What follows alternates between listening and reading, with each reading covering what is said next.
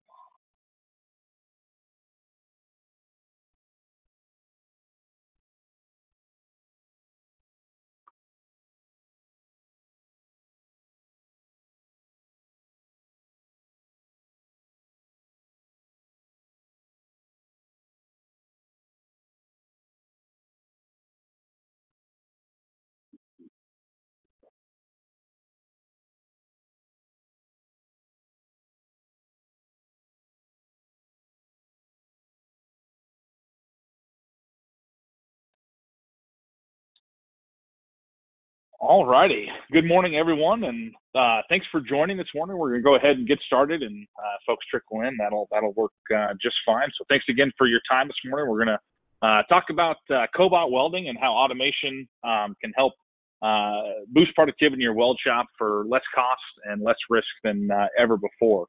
So my name is Josh Pauley. I'm a founding partner of Vectis Automation, and I lead up our business development and applications engineering activities. Um, so what we're going to talk about today for the next uh, hour or so, I'm going to show our product video to give you kind of an initial overview of the system and uh, some of its features. Talk a little bit about Vectis Automation, who we are, uh, where we're located, what we do, and why we do it. Um, go into the details of our Cobot welding tool product. Talk a little bit about what makes an application fit for automation and some of those initial guidelines uh, for success uh, for certain applications. And then we'll actually hear from uh, one of our customers in Colorado Springs, Andrew Lindloff at ConcealFab. He's going to offer some of his perspective uh, on the system and also some advice for folks uh, looking to get into automation as well. Uh, and then lastly, we'll finish up with a live programming and weld demo here at the General Air facility uh, in Zuni, uh, at the Zuni location in Denver. I just want to take a moment too and thank General Air for collaborating with us on this seminar and for joining us today. Um, so with that, we'll go ahead and get started. Um, start off with our product video here uh, to give you an initial overview. So, and I'll talk about this quite a bit, but the, the reason that Vectis, we founded Vectis and uh, why we do what we do is because, um, as I'm probably preaching to the choir, there is a large shortage of skilled welders and AWS is not predicting that it's going to get any better. Um, and I think there's a lot being done in training and education and bringing more folks into the trade, which is great. Um, and I think that's one way to attack the the issue. And the other way too is is to to boost productivity through tools like automation um, and uh, better processes as well. And so that's what we really aim to do with uh, our system is to make it easier to automate, uh, lower cost, uh, and lower risk to automate as well. And so you'll see me, you know, when we do our actual uh, live demo, you'll see a, a good example of uh, the ease of programming. So, you know, reduce the amount of setup time, um, reduce the amount of time to fixture and program each individual part, thus enabling smaller batches and subassemblies and, and folks who, uh, where automation was out of reach before, uh, we're trying to bring it in reach uh, and make it as accessible as possible. And so I'm going to go ahead and, and, skip the end of this video because we'll go through this actually on uh, the live demo as well. But I just wanted to show this to kind of give you an initial overview. And this is available on our website and our YouTube channel as well. So really quick about Vectis, um, our name actually comes from the Latin word for a lever or leverage, and that's really our goal is to provide manufacturers like yourselves uh, the leverage um, to to boost productivity in your weld shop, um, again for lower cost and lower risk, and and quicker to program. So we are a certified system integrator uh, of Universal Robots. So Universal Robots is uh, the pioneer of the idea of this collaborative robot. Um, they actually came up with the first, first co- collaborative robot 15 years ago uh, and have since uh, sold over 40,000 worldwide um, in a variety of applications. And so uh, Vectis is a certified integrator of Universal Robots, and we are a team of engineers with um, 85 years of combined experience, soon to be 100 uh, over a century, um, with some additional folks we're bringing on the team. Uh, but we've got 85 years of combined experience in the robotic welding industry, so that's really see, let us see the good, the bad, and the ugly. And we've taken that experience and, and combined it with the new technology, the collaborative robot, to to to make welding with cobots as easy as possible. We're based out of Loveland, Colorado, about an hour north of Denver. Um, and our entire focus is on um, this Cobot welding tool product uh, to boost weld shop productivity. So some key uh, uh, value uh, pointers of uh, this product is its ease of use, portability, uh, flexibility and versatility, quick delivery, and a cost effectiveness. And then we also pair that with peace of mind through our return policy and our rent to own options. And as I just mentioned before, uh, the reason why we, we do this is there's that estimated shortage of 400,000 welders in the U.S. alone by 2025. Uh, that's from AWS. Uh, and our belief is that a collaborative man plus machine is going to help fill that gap. So going into uh, what is the Cobot welding tool? Uh, it, it's what you see there on the right. It's a fully integrated um, mobile system uh, on a footprint of three feet by six feet. So it's portable.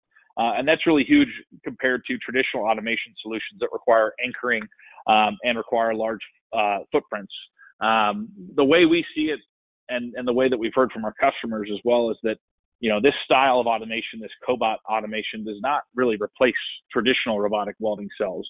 It's it's really seen as filling in the gap between manual welding and full traditional automation. So for smaller batches, for shops that don't have the space or the power um, or the the programming skill. That's where it's really helping out on a lot of fronts. Um, and so again, it's portable, uh, so you don't have to anchor it to the floor.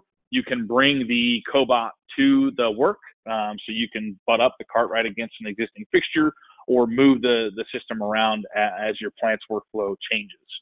Um, it's versatile, so you can fixture and weld on the, the the Rhino cart that you see there, that modular gridded table uh, or on an existing fixture as well. And I'll show a picture of that in the next slide. Um, the reach of the Cobot's 51 inches, and the torch adds about 17 inches beyond that. I'll show. I'll kind of talk about reachability a little bit later in the presentation and how that how that works for welding automation. And then we also put a free drive button uh, on that torch bracket uh, to make hand teaching and leading uh, te- lead through teaching uh, easy for folks who have never programmed robots before. And you'll see me use that in the live demo as well. And lastly, as I mentioned, it's a it's a uh, small, compact, three foot by six foot footprint that's mobile. Uh, and for folks without three phase or, or high voltage 480, um, that is not required for the system. So the robot itself runs on 120 volt wall outlet, and the welder can run on anything between 208 and 575, including 240 single phase. So if you don't have single phase, that's that's one barrier to entry that's now been uh, uh, removed uh, is that requirement to get to three phase. So um, three phase not required, but uh, could certainly run on that if that's what you have. And so I just want to show a few pictures uh, of the system and some of the applications that it's tackled. This is a really good picture, kind of what I was mentioning uh, before on uh, uh, budding the system up to a an existing fixture. In this case, this was a large frame, uh, and actually welding on that existing fixture. Very easy, quick to do. Um, we've seen customers butt two carts next to each other to kind of double the workspace um, but at the same time maintaining that uh, original system compact footprint of that three feet by six feet. Um, so you see some examples here, you know, thin gauge materials, uh, circles and compound paths, um, circles on uh, uh pipe, slip-on pipe flanges and various small parts, and then also aluminum. So we've recently come out with an aluminum push-pull package um, that's that's been making some pretty beautiful welds, and we'll show some of those on the live demo as well. A few more application pictures. Kind of wanted to point out this one uh, on the thicker side. So uh, thicker is actually easier, I would say, for for automated welding because you have more material to take the heat. So um, anywhere from thin to thick, I would say 16 gauge is typically the thinnest we go. It's you know thinner is sometimes possible, but you, we really got to take a close look at how consistent thinner can be. Uh, but 16 gauge all the way up to half inch, three quarter, multi pass welds, um, all within the realm of possibilities. Um, you know, in terms of joint types, outside corners, circular, bevels, fillets. Um, many of them are, are, are entirely possible. And then just a few more here. Uh, example of some thinner materials, uh, some more aluminum examples, and then this is one of my uh, favorite applications actually. Um, a customer up in Fort Collins, um, Supervac, um, doing their fan shrouds, uh, the tacking on those. I think there's 140 tacks per fan shroud, and they make a ton of them. So you think, you know, when you when you think of monotonous and boring, and what does a manual human welder not want to do? That's that comes to top of mind for me at least. And so they've been able to kind of offload that monotonous, repetitive work um, to their cobot welding tool and leave the really skilled stuff to the skilled human welders um, that are already in short supply. So um, one of Vectis's core competencies and strengths, and where we continue to invest time and talent and and, and investment, um, is on the software, and we really see that as a huge key to being able to make um, automation, you know, more accessible to more manufacturers. Uh, so we've got a software development team in house, and um, we continue to grow that. And so some of the things that we've done is we've been able to make this system uh, completely DIY. Um, so uh, all of our customers across the nation are typically set up and welding on their own within hours. I think one of my favorite examples of that is a uh, testimonial from one of our customers in Montana that said they were cutting shrink wrap in the morning uh, and welding production by the afternoon. Um, and so we've really tried to make it as easy as possible, both through just a simpler interface that we've developed, as well as our training tools like our instructional videos uh, and our user guide to make it as easy as possible for more folks to um, get going quicker. And so th- that accomplishes a couple of other things too. You don't have to pay to fly out to us for training, especially in these these COVID times. You don't have to pay to have our tech come on site to do the install and commissioning and training. Um, it can all be done uh, remotely and DIY, which a lot of our customers have really uh, appreciated and latched onto. Um, and so uh, the programming is meant to be very graphical, so there's no coding. You know, it reads very. You know, I get I get a lot of questions of you know what's the programming language, and it truly is. It's English or Spanish. Um, it reads uh, just like you might uh, expect it to. Hey, I'm going to do an air move here. I'm going to start my weld here. I'm going to end my weld. I'm going to do a circular weld. Um, it's simple commands like that to make that very easy, and I'll show that in our live demo as well. Uh, we put a lot of visual context on the pendant to where you're getting the information you need at the pendant rather than a thousand page manual, um, so that you don't have to go dig through what's that page to understand how a circle segment is programmed or something like that. Uh, we have total uh, weld and weave control through the pendant, so you can have travel speed, uh, voltage, wire feed speed, weaving, you know, either a zigzag weave or an inline whip, or of course a, a stringer bead, no weave as well. But that's all controlled through the pendant uh, per weld. And the, the, system also comes with uh, baseline weld templates for common weld sizes. You know, hey, I'm running 035 wire on carbon steel and I'm doing a quarter inch fillet in the horizontal, you know, I, I want to run it with pulse. We, we have some baseline parameter templates to make a, a pretty good weld right out of the box that you can then hone into your specific needs.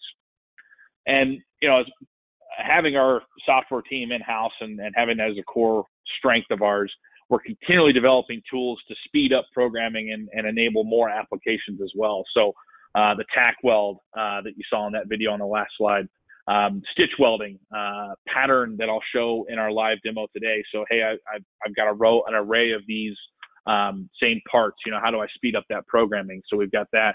Uh, recently came out with touch sensing. Uh, we continue to come out. We've got some exciting things coming up uh, this fall uh, for uh, continual software development. So we'll continue to develop those, and a lot of that's based on customer feedback as well. So we we, we keep a very tight feedback loop with our customers of hey, what do we need to improve?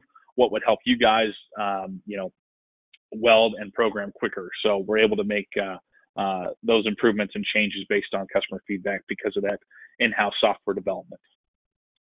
Um, so, and then the last piece of that as well is, you know, making it affordable and accessible and providing that peace of mind. So it, it really is an affordable all-in system price that includes shipping. So um, you know, we we we don't try and option out a number of things and and land at a higher price at the end. It's it's really meant to be that all-in price that gets you going, ready to weld.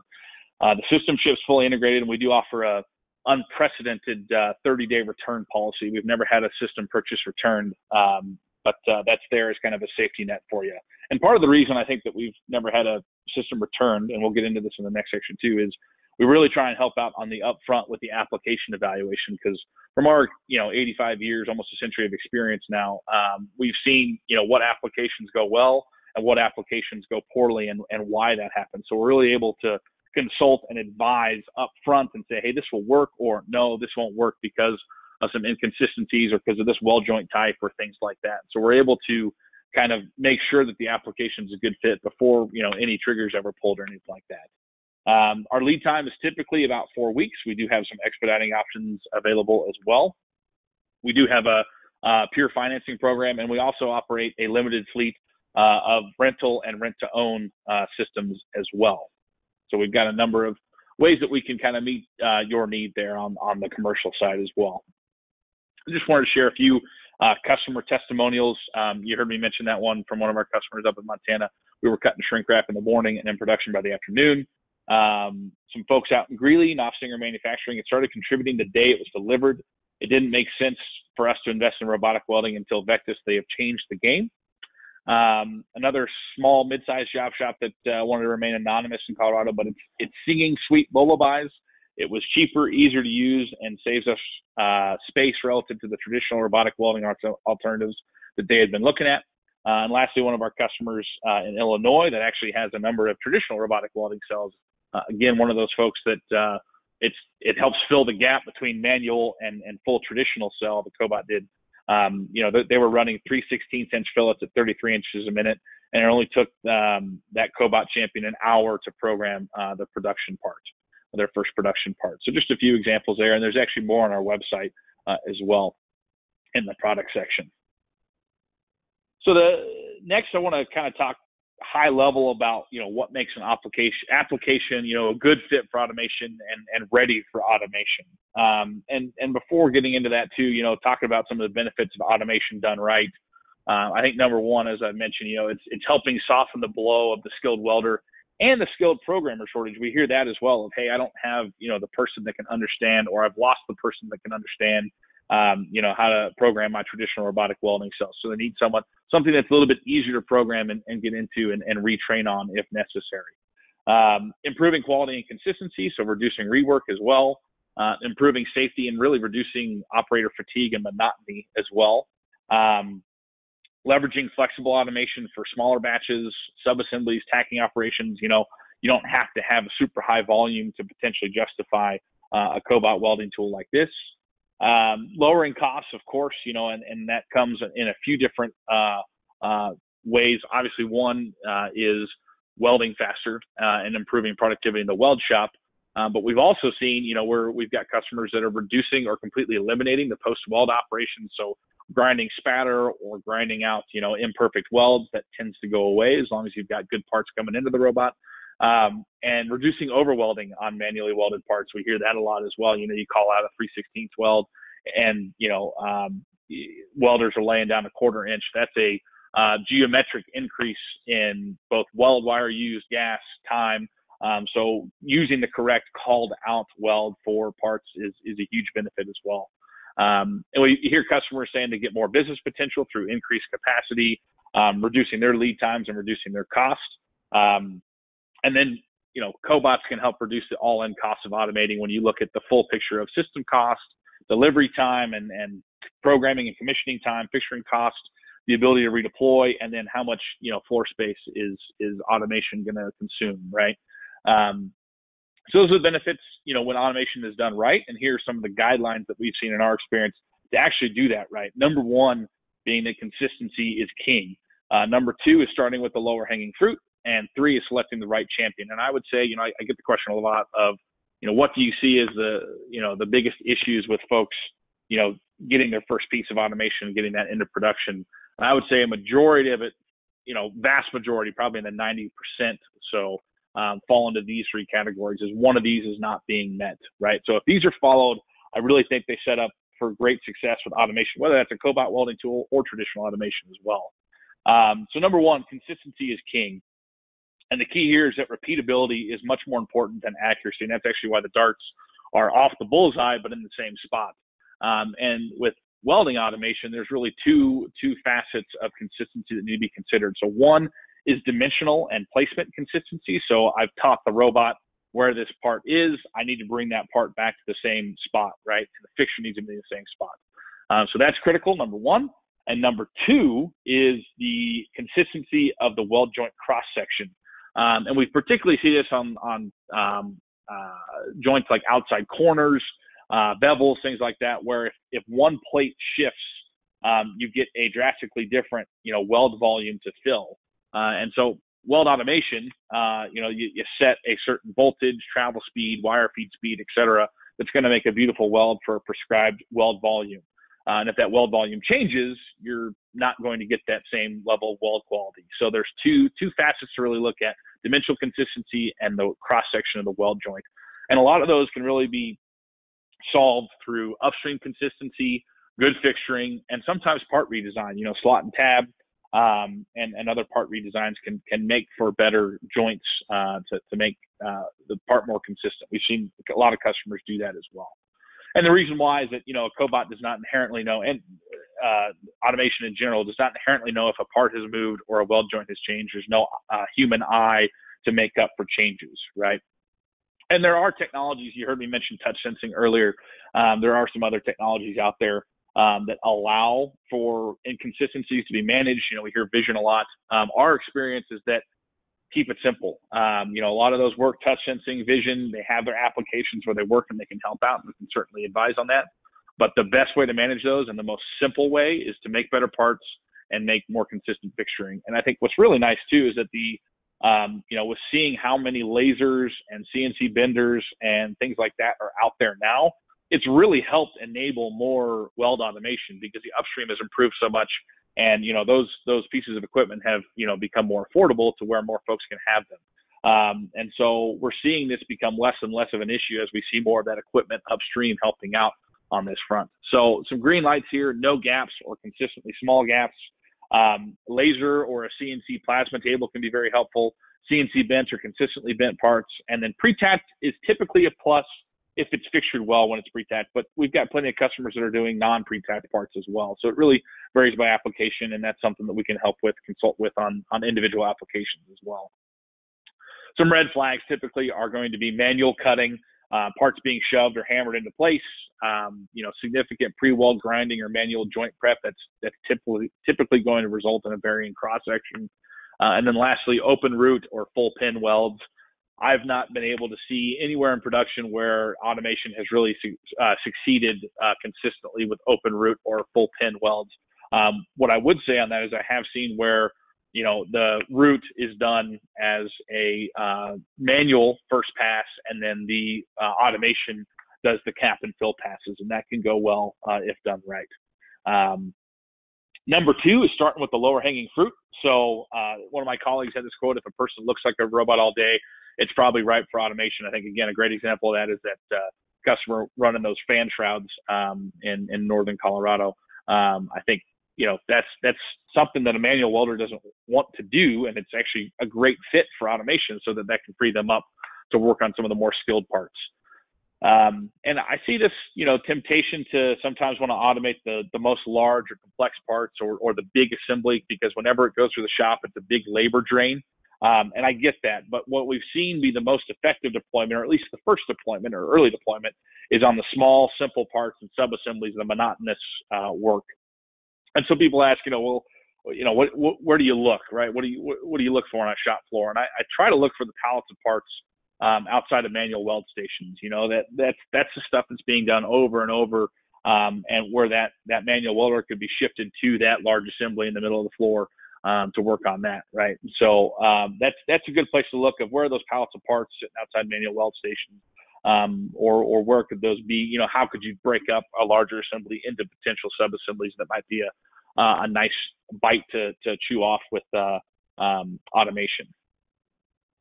And so, you know, some green lights here is MIG welds on 16 gauge or thicker. Um, t- you know, I put this as yellow TIG applications that could potentially be done with MIG. I've got a few examples of that here. That's something that we, we really enjoy talking about with if you have TIG. We do not have a TIG package for our system, and there's a couple of technical reasons for that. Um, you know, one being the directionality of the automated TIG process.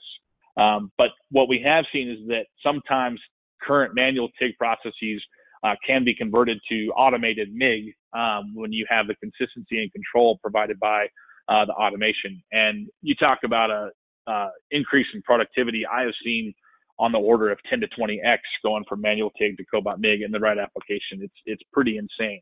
Um, so that's something if you're doing TIG and and you know uh, MIG could be an option if it if it if it works out. We'd really love to talk with you about that and see if that that might be an application that could that could be uh, converted. Um, steel, stainless, and aluminum. You know, we, we can do any of those three. We, have got a push pull solution for the aluminum now. Um, relatively open for torch access. Uh, planar welds that require no or minimal repositioning. There is no, you know, ability to manipulate a part uh, via an external positioner right now. Um, but what we have seen sometimes is that customers, you know, because of the smaller batches or because of their, you know, use case, it's not too hard to manually flip a part to, to another side to be able to weld uh, the other side or another uh, weld that needs to be done. So that could be an option as well. Um, and then a high arc time relative to the size and the number of welds is always going to be uh, a nice fit as well. And lastly, and this is this is huge, is selecting the right champion. Um, and when you know, I, I get asked, well, what's the right champion? What is it, what does he or she need to know? Um, I would say that eagerness and ownership are the two most important things for for any Cobot champion.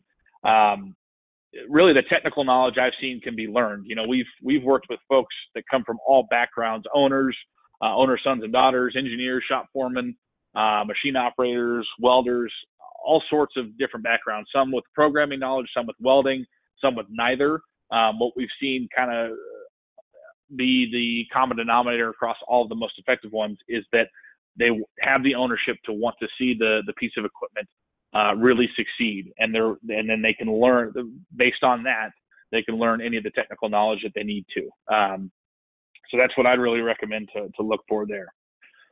So lastly, before um, uh, I hand it over to Andrew at ConcealFab to kind of give his perspective as well, I just kind of wanted to go through a few more slides here talking some of the technical uh, details. So here's just a few examples of when we talk Cobot MIG versus manual TIG. Um, you know, you, you, look at some of these TIG welds that are, you know, gorgeous in their own right, um, but you can also see that some level that you know that level of quality uh, and cosmetics can also be, be achieved on our system as well. So if you have some TIG applications that you're looking at automating, let's talk and see if they might be a candidate for MIG for sure. You know, a few examples here of some slam dunk uh, slam dunk applications that we that the, the system has tackled in the past. Um, reachability, you know, I mentioned that a little bit earlier. You know, 51 inches of the of the cobot, and this is how all robots in industry are, are measured from the base axis to the wrist flange. And then our torch, our air cooled torch, standard air cooled torch, uh, extends that beyond 17 inches.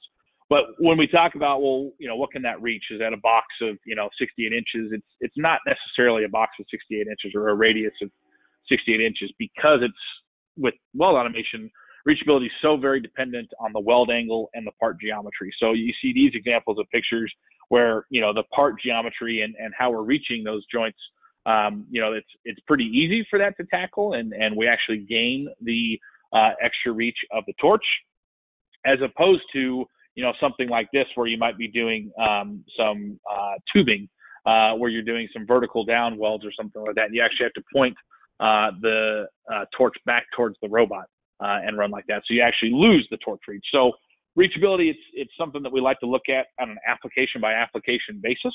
Um, and so what, what I encourage you to do is, you know, reach out and let's talk about your specific applications, get some pictures or drawings or models, and we can happily take a look at those together and see if um, the system can reach, or if you know there's some other creative ways to potentially reach as well. Um, one of the neat things about collaborative robots is that uh, they're able to do multi-zone and multi-part setups um, very flexibly. So uh, you see in this picture here, basically the cobot's working uh, in this what we term a zone on this side, while the operator can be loading and unloading on the other side, right? Um, and because the the safety of of the collaborative robot is actually built into the arm, um, it allows for very flexible multi-zoning. So I can go back and forth, or I can have one here and here.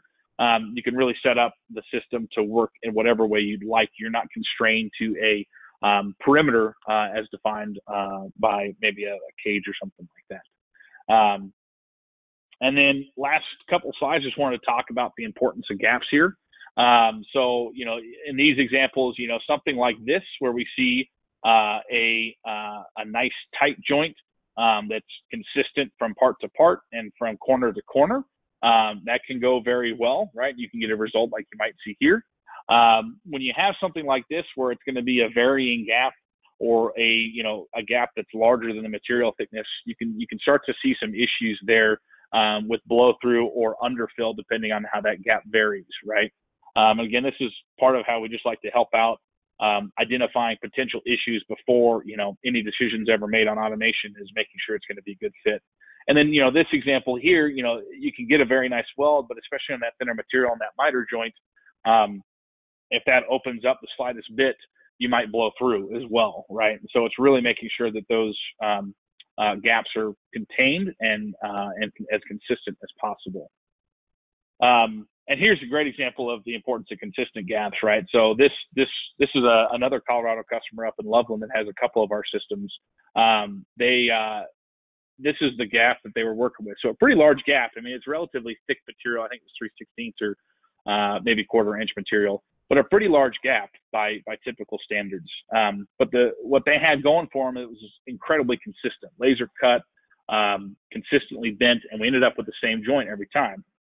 And so, like you saw in this video here, uh, actually able to do a little weave bead in there to to to manage that gap and make this absolutely gorgeous, uh, no grind required, you know, minimal spatter uh, weld. Um, and this customer has actually seen a uh, tripled uh, increase in productivity. I think they went from about 90 of these a day uh, to nearly 300 uh, with just a single cobot. Um, and so they got the second one in to, to help out with some other parts as well. So just an example of how consistent, if gaps are consistent, um, they can be uh, welded by automation, um, but that consistency is critical. Um, so with that, that's kind of the, the main section of the presentation. So before we get into the live demo, uh, we are going to welcome uh, Andrew Lindloff of ConcealFab in Colorado Springs uh, to go ahead and, and, chat about his perspective and any advice you might have for um, you know folks looking at automation.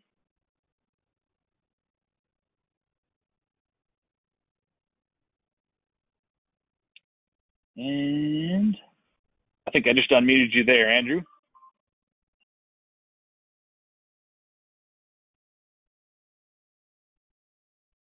Oh, Andrew, or you might be on mute.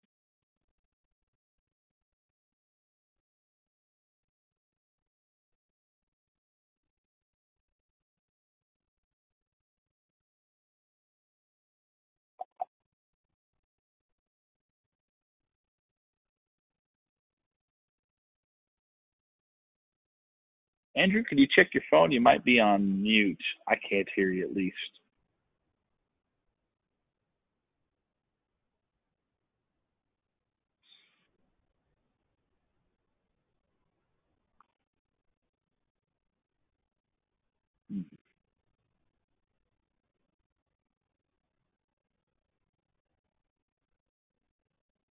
See here.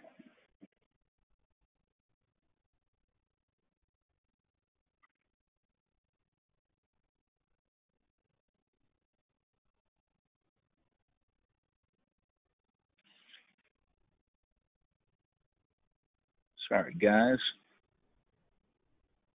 You'd think I'd have figured this out by now with how far we are into COVID, but uh, forgive me here.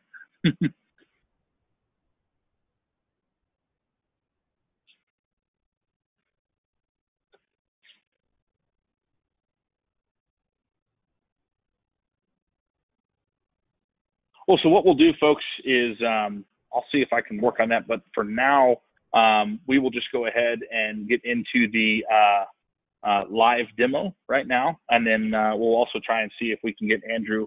Um, uh, I can get the audio working for Andrew as well, so we can hear his perspective. Um, so we'll go ahead and move into the live demo here. Uh, let me get that ready here.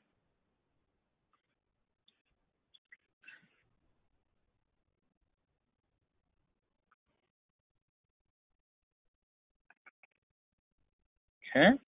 So what we've got here for the live demo set up at the General Air facility in uh, Denver. Uh, on the left side of the screen is a live webcam view of uh, what's going to be going on in the system.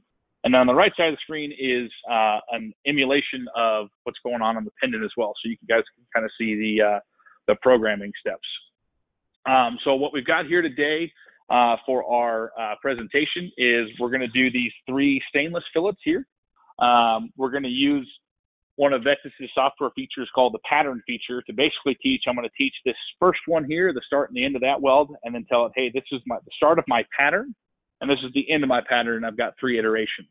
And so what that's going to do, the the Vectus software is just going to copy and paste essentially that uh, whatever I want in that pattern uh, to the subsequent um, T plates as well. Uh, and so that just saves time on programming if you've got you know a fixture nest full of the same type of part, or if you've got a part with you know let's say six ribs on it or six gussets that you want to uh, are in the same spot, you can just easily program that. A lot of our customers do use that feature. And this is the the weld that we're going to be doing here uh, this is 12 gauge material. We're using General Air's uh, Silver Shield 10 gas, that 1% hydrogen blend. Uh, we're going to be using a pulse waveform on the uh, Miller Invision welder uh, and just get this, this beautiful uh, fillet weld as you see there. Um, so I'm going to go ahead and step up to the pendant here. this is what any programmer would see basically when you, you step up to the, you open the, you turn on the, the, the robot. So I'm going to go ahead and hit new program. Okay. I'm going to go ahead and save this so I can call it up in the future. And I'm going to call this uh, General Air uh, Seminar right here. So we could run this in the future if we wanted to once it's saved.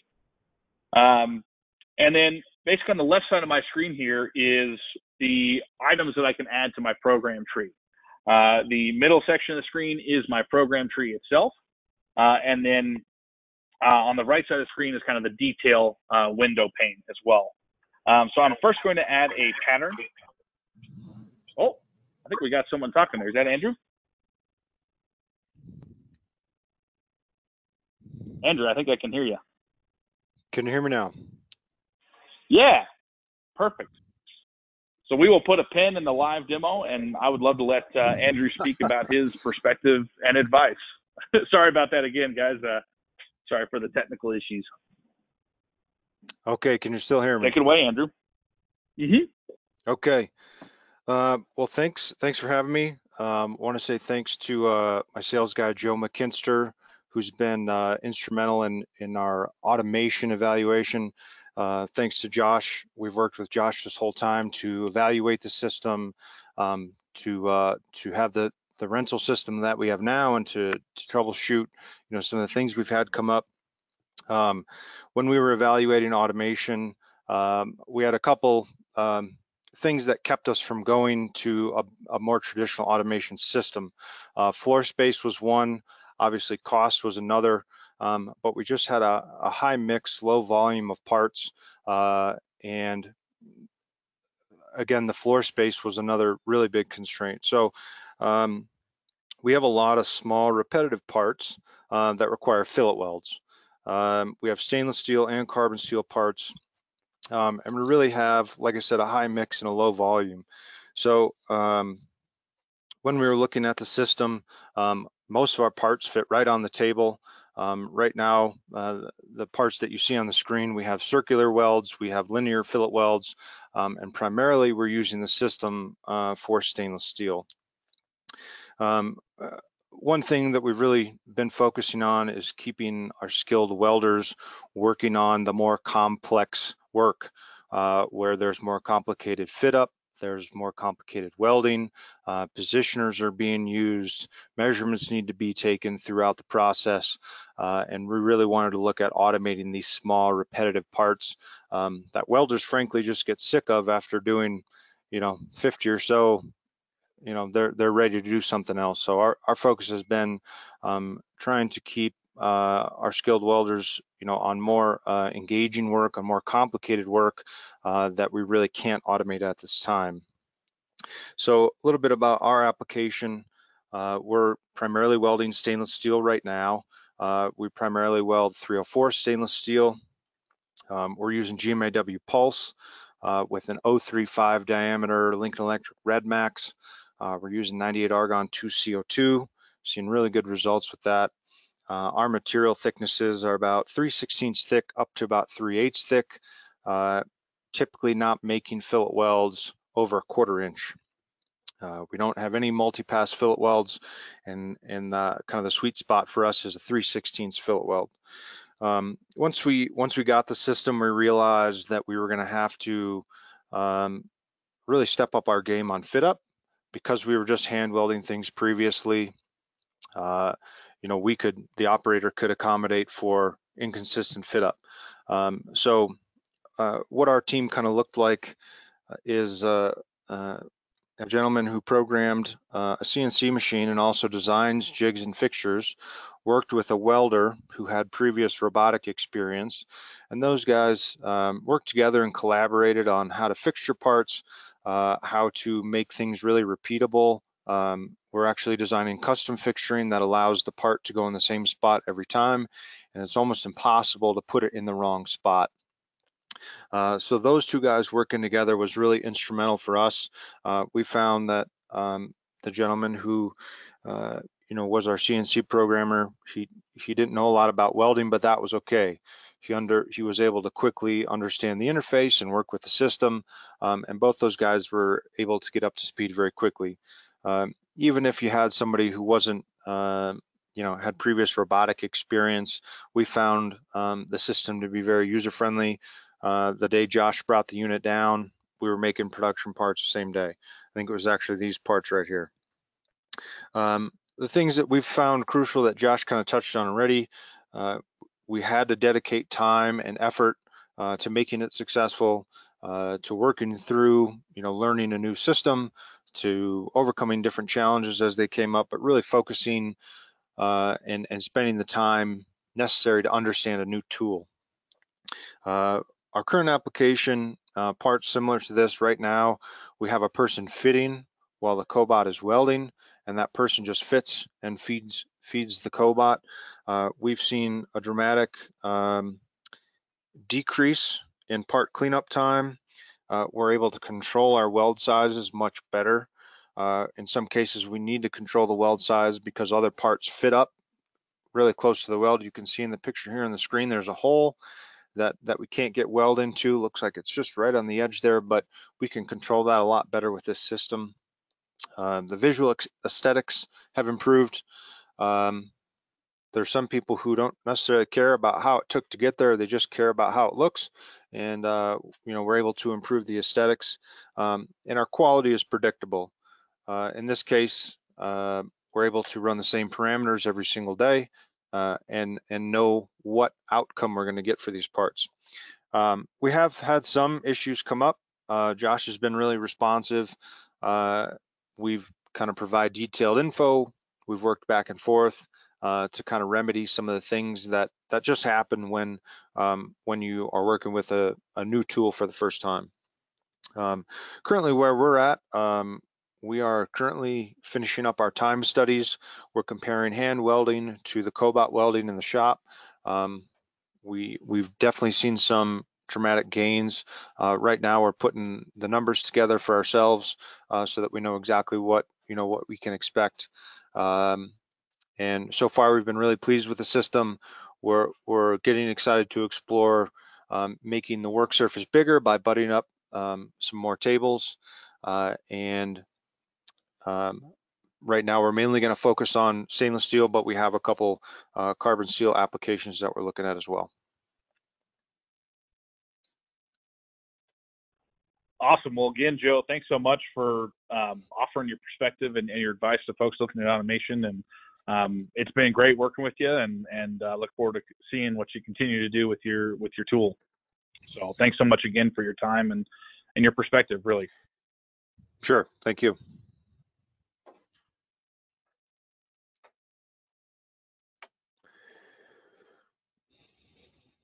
Alrighty. Um, we will get back into the live demo here. Um,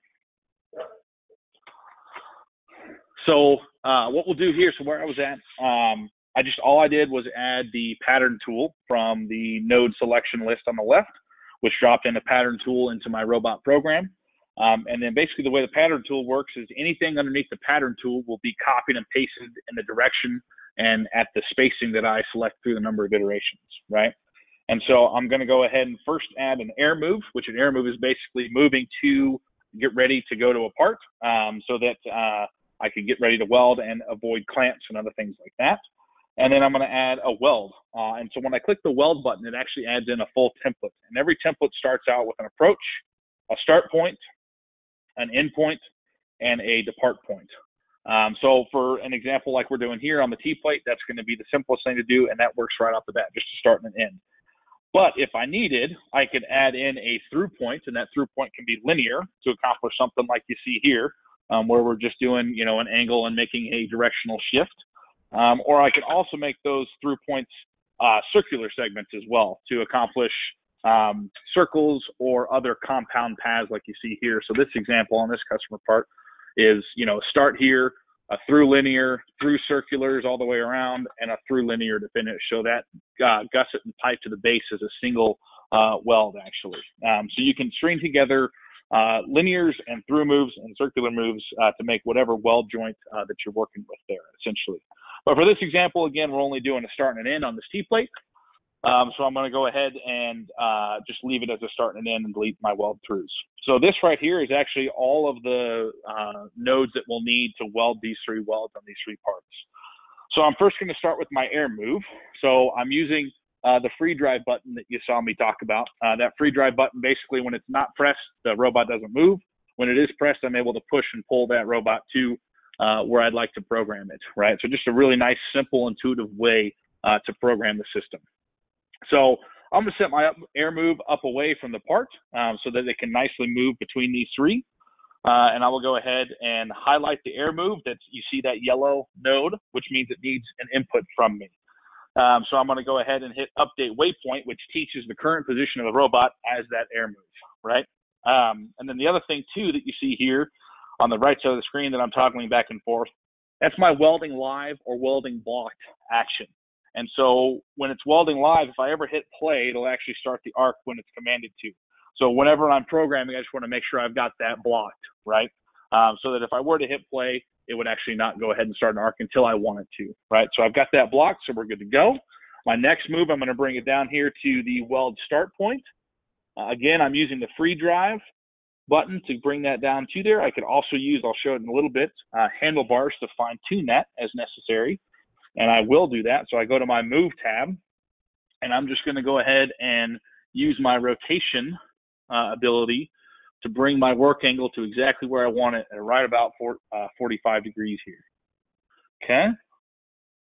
And all I'm doing is just tapping these just a little bit to get that wire exactly in the joint where I want it at the start point, which is right there. So now I'm going to highlight my weld start node and I hit update waypoint, which is going to teach again the current uh, position of the robot uh, as my weld start point. Okay, so that's good to go.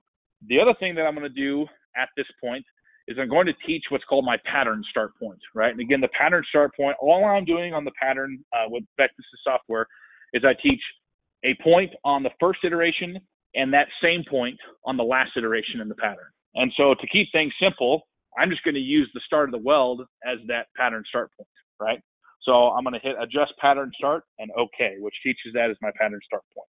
And I'll teach that same point on my last uh, pattern once I get to that uh, stage. So next, I'm going to teach my weld endpoint. I'm going to go ahead and uh, use the adjust button, as you saw me do earlier, uh, to jog in a linear fashion to the end of this joint here. And just Make sure it's right where I want it there. Perfect. Okay. So my weld end is taught now. And then the last thing I'm going to do, as I mentioned earlier, is teach my pattern endpoint. And my pattern endpoint, again, is just that same point uh, on the last iteration of the pattern, right? And so that's going to be pretty close there. Let's see, get that in to the joint just a bit. Rock it up. Right there. It's pretty good. Okay, I like that right there. Um, so now I've got my full weld paths programmed. Um, so the last thing I'm going to do before we go ahead and dry run it and then weld it is I'm going to add in my weld process parameters. And so like I mentioned, I can either pick from a library of templates. We load in some baseline uh, template parameters for for uh, on every system, but then you can also modify those and add your own as well. So for this one, again, using the Silver Shield 10 gas with the 1% hydrogen, uh, we're actually going to run at 35 inches a minute travel speed. Um, we're going to use the pulse uh, waveform on the Miller Invision, uh, run a trim of 59 and a half, um, and a wire feed speed of 580 uh, inches per minute. For the for this example, we're actually not going to do a weave just because of the thinness of material, and that'll allow us to make this nice uh, stringer bead right there. Um, but if we wanted to, we could go ahead and add in a zigzag weave, as you saw on on ConcealFab's parts in that video, or we could also do an inline weave as well, just with it back and forth. Or I think Bob calls it the Missouri Shuffle, right? Uh, so there's a lot of options there for uh, whatever different type of weld uh, that you're looking for. Um, so uh, with that, I've got my uh, process selected as my 035 stainless 316 fillet pulse fast stringer. Um, so I'm good to go there. And my weld is blocked. Again, I'm toggling that icon back and forth. I've made sure my weld is blocked, and I can check that in our status screen here as well. And so what we're going to do now is we're just going to dry run uh, the program to make sure it's in the joint, it's doing what I want it to, and then when we weld it, it's going to look right. So all I do now is hit the play button. It's going to go ahead and, oh, actually, you know what? I forgot to do one thing. I got a little ahead of myself. So when it patterns, it's going to, you know, basically copy whatever it did here and move here and here. So I need to make sure I have an air move or a depart point away from the end so I don't crash into the clamp, right? And so what I'm going to do is I'm actually going to teach my depart point to be over here so that it can nicely move away from the clamp over to the next uh, iteration. So all I do here is hit uh, weld depart and update waypoint. Okay, so now we're good and it'll move uh, exactly as I want it to. So we see that moving there. And I didn't mention this, but we are using about a 10, 15 degree push angle uh, to get that stainless to wet out nicely. Uh, and that's right in the joint where I want it. So that looks good. We see that depart move there. Oh, caught myself with another moving too quick as well. So what it did there is it skipped over this one because I didn't, I forgot to tell it that, that there's actually three iterations in the pattern, right? So I, all I do to fix that is go back to my pattern tool node and tell it three iterations, right? So with that, this is why we do dry runs to make sure that uh, you weren't moving too quick and uh, that uh, everything's good to go. So back there in the joint looks good.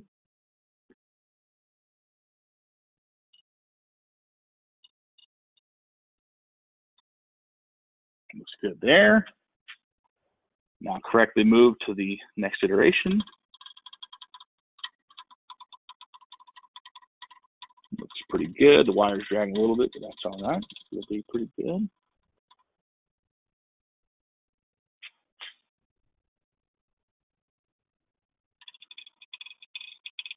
We're looking pretty good. So the last thing we'll do now is uh, once it gets done, I'll purge gas, make sure we got gas coming through, um, and then we'll go ahead and weld that. So um, I will save this as well. So again, saving it allows me to pull it up in the future again. If I was welding this part again, I would just pull up the General Air Seminar program and hit play to run these three again if this was an actual part or something like that. So lastly, again, going to purge gas. We got gas, so we're good to go there. Um, and I'm just going to clip the wire so we can get a nice uh, start as well. All right. So now to switch from dry run to actual weld, I just hit the weld live button. Again, we see that also on the status screen. Uh, and I'm going to go ahead and say, everybody watch your eyes, uh, fire in the hole, uh, and play, uh, play this well through.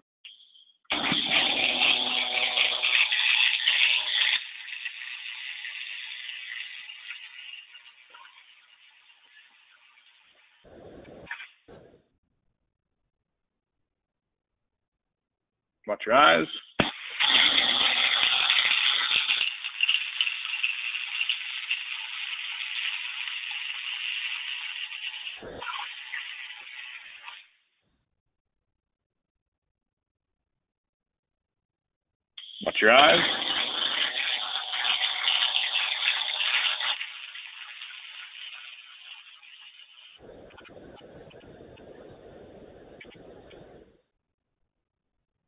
That's all there is to it. I'll grab the camera here and zoom in on how these turned out. And again, if we wanted to do some circles, um, we could just simply teach, you know, different uh, circle parameters or things like that. Um, if you want to see how to do circles or other compound paths, I would definitely recommend checking out the Vectis YouTube channel. You can just Google Vectis Automation YouTube uh, and see some of our instructional videos there that go through circles and things like that. And just some other customer stories and application examples. Um, so there are, help me out here. Am I looking good? There we go. So there are the welds there, kind of zooming in on them. Again, look pretty, pretty darn nice with that Silver Shield 10 gas. And then just a few other examples, you know, some carbon steel. Uh, this was that, uh, this was also run pretty quick, uh, pulse stringer at 33 inches a minute. Uh, some examples of our uh, recent aluminum welds. Uh, this one was re- turned out really nice. It's just a straight synergic pulse with some pretty strong penetration in there. Um, you saw some examples of, you know, thin over there, that 3 16 fillet on 16 gauge, all the way up to thicker bevels uh, and fillets and, and whatnot. So just a few examples there. Um, more examples and pictures on our website uh, and YouTube channel as well. And uh, as I mentioned before, please don't ever hesitate to reach out to us to talk about your application and say, hey, is this a good fit or not? Um, it's always our goal to make sure that we're giving you an honest answer on if it's going to be a good application or not. And so you'll you'll always get honesty from us. Uh, and if it's not a good application, we'll we'll tell you why, and we'll tell you things can be improved. Or um, you know, if traditional automation or hard automation is a solution, we'll we'll say that as well. So we're we're very solutions oriented, and we don't want to have uh, any of our systems not helping out. And so that's why we have that upfront applications process uh, led by folks who have been in the field and seen the good, bad, and the ugly. So um, with that, uh, we'll open it up to Q&A here. If you chat, uh, type into the Q&A box, um, we'll take any questions. Uh, and if you have any that come up after this as well, please don't hesitate to reach out.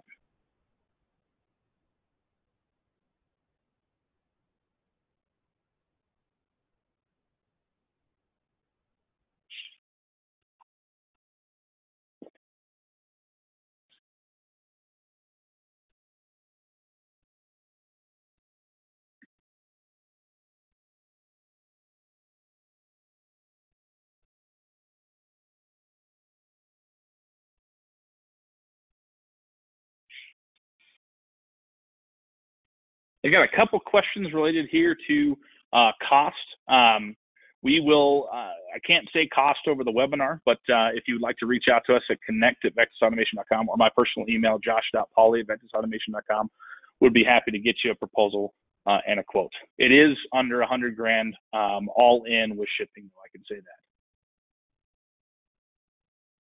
Any other questions through the question box? Saw two of those come through there.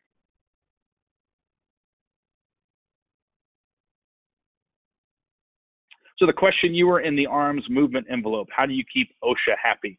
Um, let me actually go ahead and uh, demonstrate this. So, uh, Jim, to your question, uh, the way that the that uh, OSHA stays happy, one is we do a full RIA safety risk assessment. So the speed is throttled to a safe speed for welding applications. But really, what enables this without a cage is the fact that this is a different type of robot called a collaborative robot or cobot.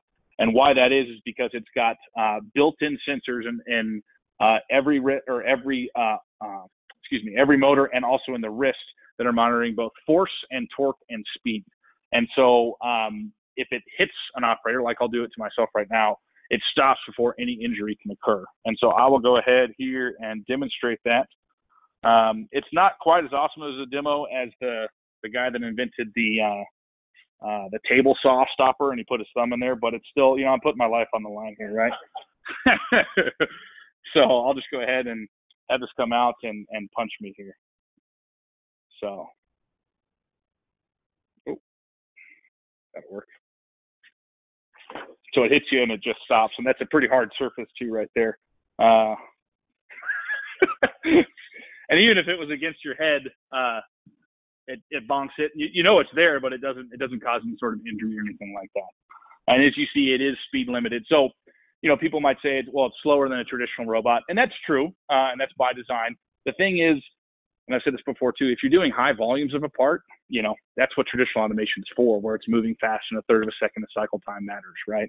Um, so speed, typically with our customers, what we hear, if it's a little bit slower, it's not critical, right? The other thing is that we've seen is that, you know, traditional robots, depending on where they're moving to and from, they never get to the full speed because of the acceleration or deceleration required. So it's really, really dependent, but you know, you're basically trading super fast speed uh, on traditional automation for flexibility, lower cost, uh, and ease of use with with cobots. Is kind of the the the difference there. Um, so Uh, water cooled torch option. Yes, we do. Yep. So we've got a water cooled torch option. Um, and we can also beef up the welder to the Invision 450. Um, how does it do a tool center point or is that required? Uh, that is required, uh, and that's taught. We use a reference pointer here, basically. And for those uh, unfamiliar with the tool center point, the tool center point is basically how does the robot know where the weld wire is, right? It's what I'm programming with. Um, so we do teach a tool center point, um, and there's actually, uh, David, there's actually a really good uh, video on our YouTube channel that goes through how that's programmed and why that's important as well. So what you see me doing here is rocking about uh, that TCP at the end of that weld wire. Okay. Um, let's see here. Um, ability to program hot starts and crater fills for aluminum, that's a yes. Um, we use the S74 MPa feeder that allows that. Have you used drum wire with the unit? Um, I imagine one of our customers have. We haven't seen it that often. Uh, usually, just with kind of the applications and the areas this is going into, the spool is a good fit. But there's no reason a drum couldn't be used. I think you would need some, you know, smart conduit to get it up behind the wire feeder, but I think that would be entirely possible.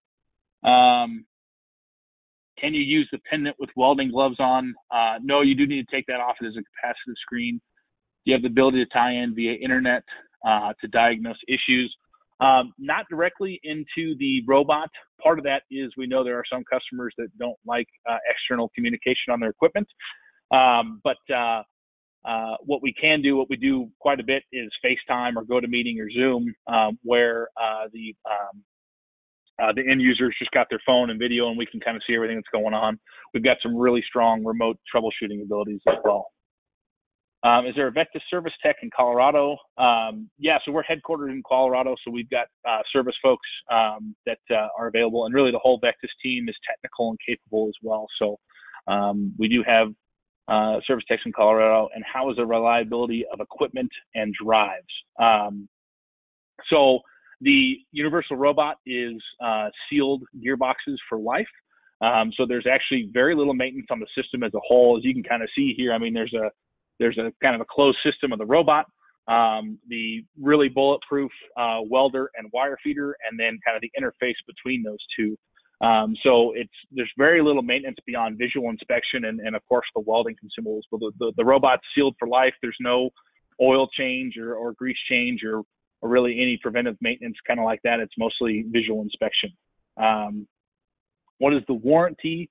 Uh, it's one year uh, for everything.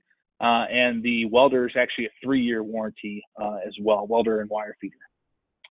Do you have any schools using these for educational purposes, and do you offer an educational discount? Uh, yes, we do offer a discount, and um, we've quoted. I'd have to check with my team. We've quoted a number to schools I don't know if one's actually been implemented. I imagine the person asking that question is with school, so you understand, or I'm sure you're familiar with the uh, the sometimes the cycle to get approval and funding. So I think that's probably uh, why there. Um, have you tried using metal cored wire? Um, yes, yep. So we could run metal cored on on this. I think I got through all of them there. I really appreciate all the questions, folks.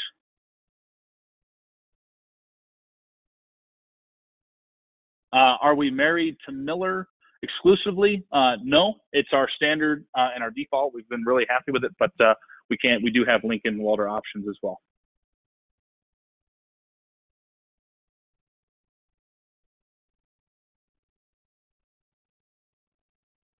And Andrew, to your final question there, I will reach out to you separately uh, about that, Mr. Hess.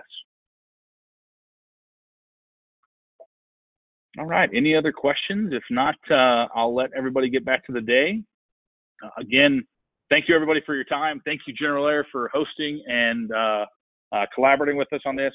Thank you again, Andrew, for your perspective for these folks and, and your advice. Uh, and thanks again, everybody, for, for joining today. And please don't hesitate to reach out. All right. Take care, everyone.